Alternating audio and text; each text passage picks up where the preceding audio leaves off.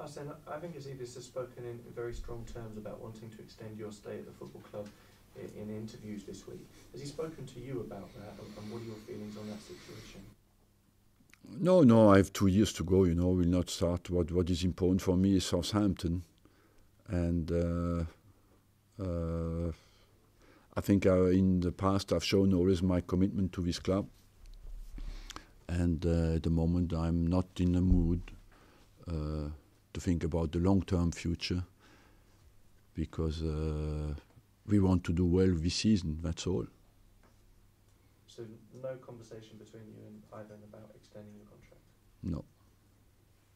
Robin van Persie and, and, and other senior players decided not to extend theirs. Is there any chance that, that you might not want to do it at all, even when you do have a conversation with Ivan? No, I've always shown my.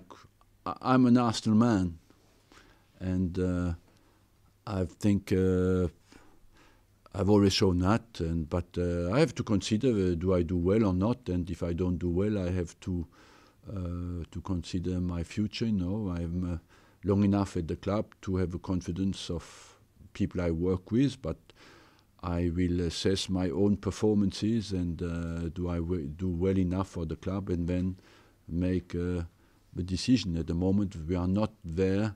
Two years is a long time in my job, so I just want to do well for the club as long as I can, and uh, accept all the rest.